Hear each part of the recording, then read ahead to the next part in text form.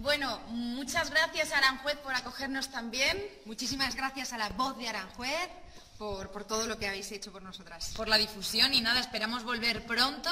Y bueno, a los que no habéis podido venir podéis ir a Madrid, que está cerquita de aquí, y actuamos todos los domingos en el Teatro de las Aguas. A las ocho y media, así que no lo podéis perder. Muchísimas gracias, de verdad. Un besazo enorme.